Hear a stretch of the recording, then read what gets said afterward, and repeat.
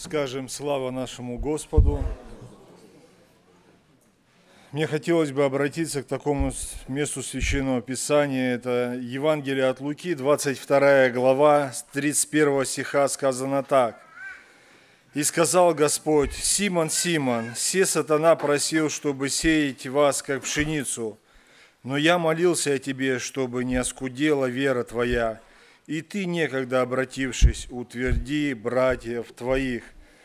И тему я избрал из этого стиха 32 и хотел бы поговорить на тему «Я молился о тебе, чтобы не оскудела вера твоя». Один раз, смотря научный фильм, как охотятся киты, я обратил внимание на такого кита, это кошелот.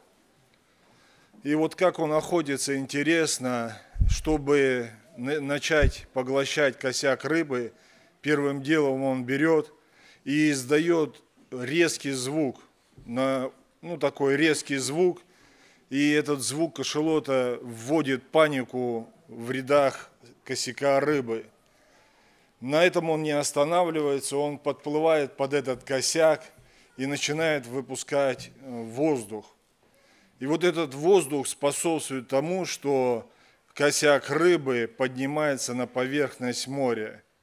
И когда косяк э, в панике, в пузырьках находится этого воздуха, то кошелоты начинают этот косяк просто поглощать. Э, пасть у кошелота 4 метра, он выныривает, представьте, раздевает эту пасть 4 метра и начинает эту рыбу кушать.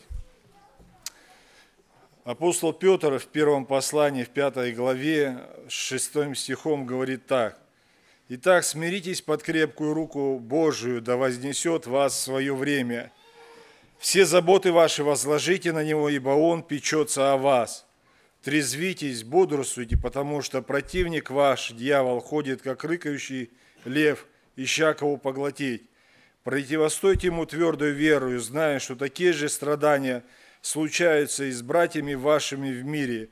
Божие, всякой благодати, призвавший нас в вечную славу свою во Христе Иисусе, сам по кратковременном страдании вашим, да совершит вас, да утвердит, да укрепит, да соделает непоколебимыми. Ему слава и держава во веки веков. Аминь.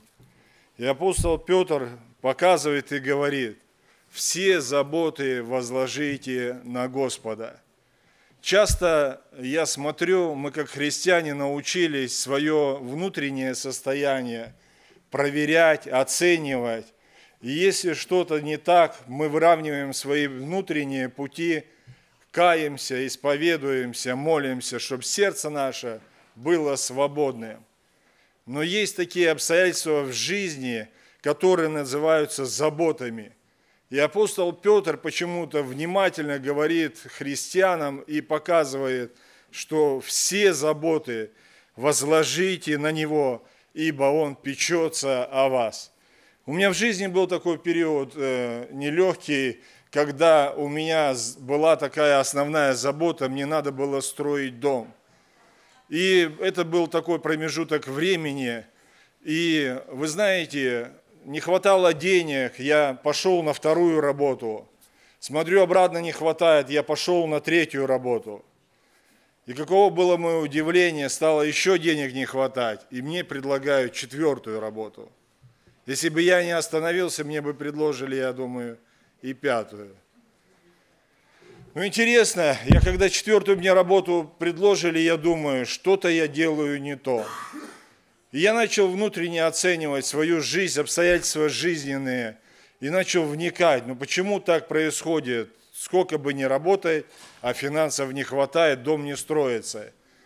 И интересное событие, вник и посмотрел, когда появилась у меня вторая работа, у меня не, не стало времени посещать одно из собраний, это в среду или в пятницу. Когда появилась третья работа, у меня перестало времени быть посещать второе собрание.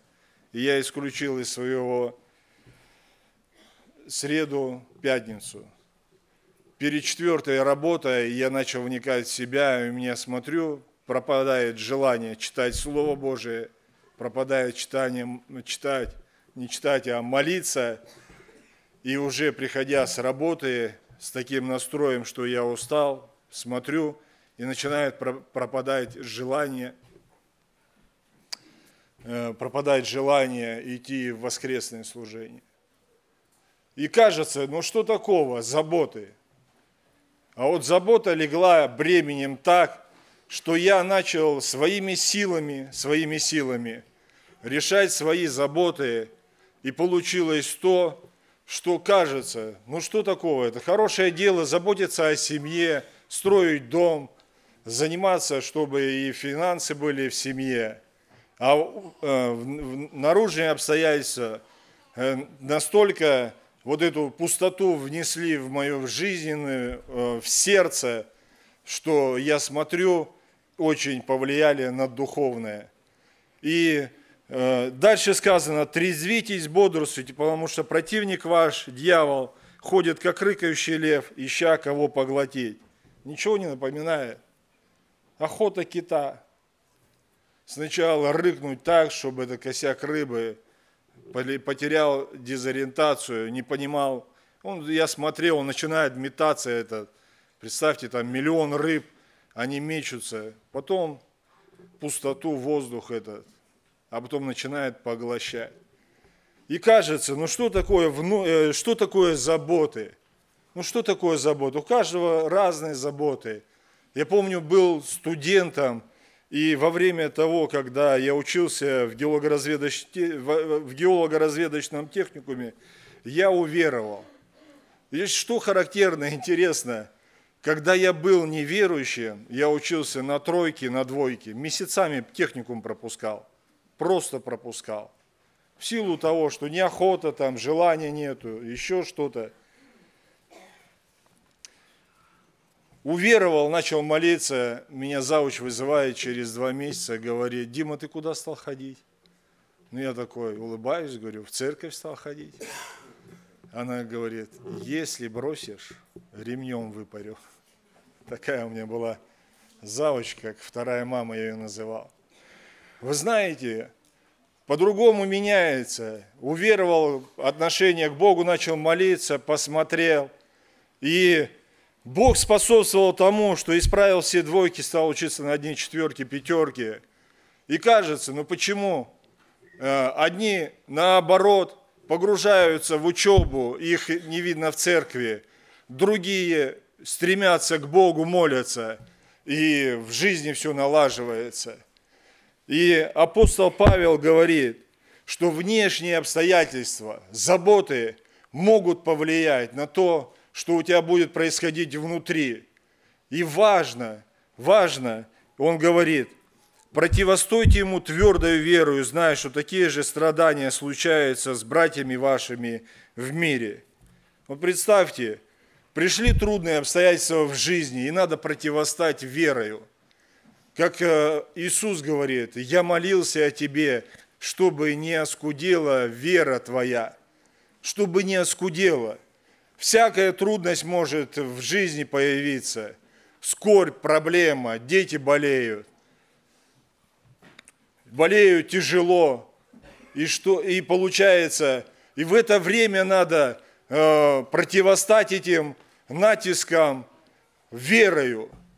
А представьте, если вера ваша оскудела, заботьтесь о, о своих проблемах, заботясь об учебе, о работе, о деньгах. Все. Перестало желание молиться, читать Слово Божие. Перестало э, желание идти за Бога. Потому что заботы настолько бременем легли, и не видно просвета. И пришли трудные обстоятельства в жизни, и надо верою, сказано, противостать. А вера оскудела – мне сегодня бы хотелось говорить и показывать, как сказано в 10 стихе, Бог же всякой благодати, призвавший нас в вечную славу свою во Христе Иисусе сам, по кратковременном страдании вашим, да совершит вас, да утвердит, да укрепит, да соделает непоколебимыми Ему слава, держава во веки веков. Аминь. Друзья, когда пришла четвертая работа, я сказал, стоп, убрал из жизни все, оставил одну, начал молиться, и Бог вышел навстречу. Господь сказано, что Он по, по всякой благодати, Божьей всякой благодати, призвавший нас в вечную славу во Христе Иисусе сам. Вот знаете, когда мы свои проблемы и трудности решаем им с Богом, то сказано, они кратковременные. И в этих кратковременных трудностях мы видим, что Бог начинает укреплять, Он нас утверждает, Он нас делает непоколебимыми. Но если мы начинаем свои проблемы решать, как мы понимаем, как мы думаем, находим еще одну работу, находим еще одну работу, решаем своими силами, то это тянется годами. И вырваться из этого круга только надо так, это вернуться как недавно один старший пресвитель сказал, начать с того момента, откуда пошло падение. Ты некогда, отвратившись, апостол Павел, э, э, Иисус говорит, э, Симон, Симон, ты некогда отвратившись.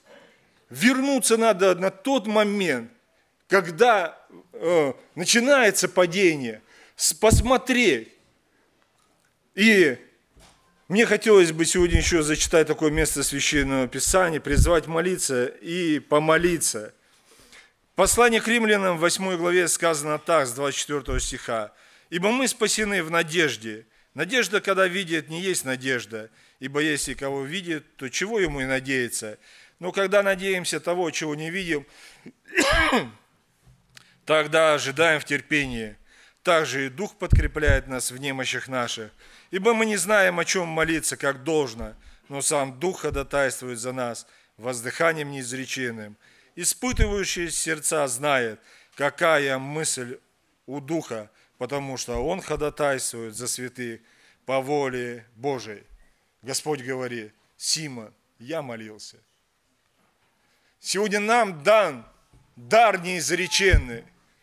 И надо к Богу прийти так, чтобы Божий Дух в твоем сердце сегодня начал ходатайствовать по тебя, о, о тебе, за твои проблемы, за твои нужды.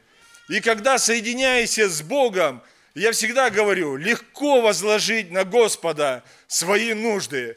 Когда ты с Богом имеешь личное общение, тогда ему легко сказать, вот это э, нужда, вот это проблема – легла таким бременем, что я не могу нести. Она отнимает у меня все силы, можно сказать, все соки. Но ты, Господь, возьми и неси. А я пойду за тобой, храня веру, и ты в этой вере укрепляй. Делай меня непоколебимым, и что Божественный Твой Дух в моем сердце ходатайствовал дыханием неизреченным Будем молиться. Аминь.